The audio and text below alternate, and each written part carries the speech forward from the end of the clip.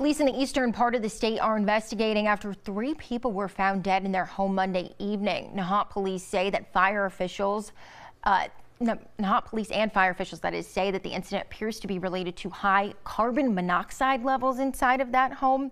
Police were called to the home on Cottage Street Monday night to complete a wellness check. They say they believe this was accidental and that there is no danger to the community.